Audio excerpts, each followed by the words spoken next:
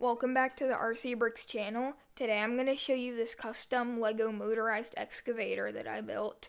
This excavator is designed to look like one from real life and it's known as the Komatsu PC 8000. Just like in real life, this is a very big excavator. It has a ramp and a ladder on the side to get up into the cab and simulated vents to keep the engine cool.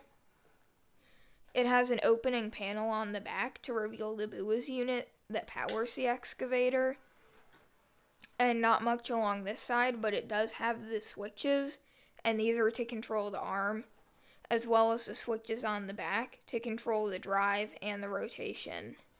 So now we'll show you how all of these functions work.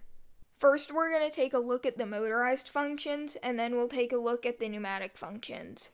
So to control the motorized functions, it's actually a bit different than most of my builds. It's not remote controlled, it uses these switches built into the excavator to control it. You use the two on either side to drive it forward and backwards, as well as steer it. And you use the one in the middle to rotate the top section of the excavator. Now we'll take a quick look at the pneumatic functions. You can see some of the pneumatics inside of the excavator. It has a lot of different components, including a motorized pump controlled by an L motor. And that pump can either go directly to the arms if the switch is in the middle, or if you flip the switch this way, it will pressurize the two air tanks in the back of the excavator, or if you flip the switch this way, it will release all the pressure from the system.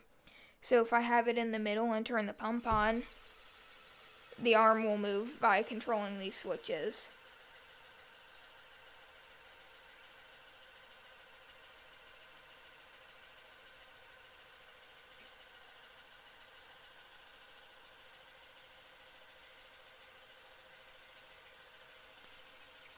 And when I turn the pump off, if I flip it this way, even though you can't see it, it's pressurizing the two air tanks in the back of this excavator. You can see one of them here, and the other one is in the other corner.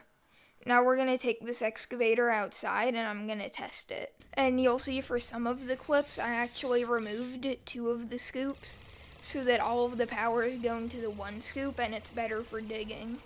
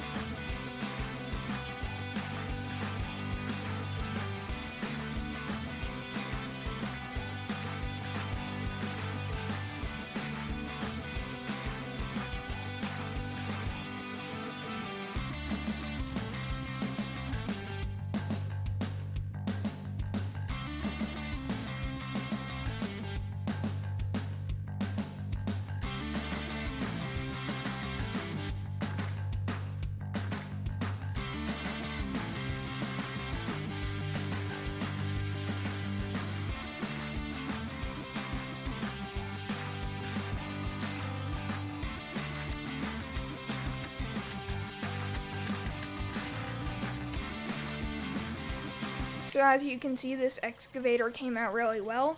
I hope you enjoyed the video. If you did, leave a like. If you want to see more of my videos in the future, subscribe. If you want to see a video where I show you a LEGO RC semi-truck, click the video on the left. Or if you want to see a playlist with all my MOCs, click the playlist on the right.